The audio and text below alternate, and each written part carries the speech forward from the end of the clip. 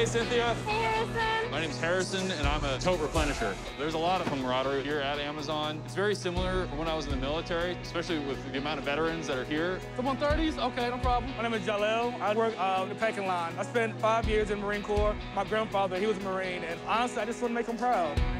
I'm Brian, and I work in the pack department. I served in the Marine Corps for four years. I was a scout sniper, received Purple Heart. I kind of struggled after getting out of the military. Immediately at Amazon, I was welcomed in and made a member of the team. I'm Jeremy, and I work in the receiving dock. I was a combat medic for six and a half years. This job opportunity came around. They're very supportive in everything that I need.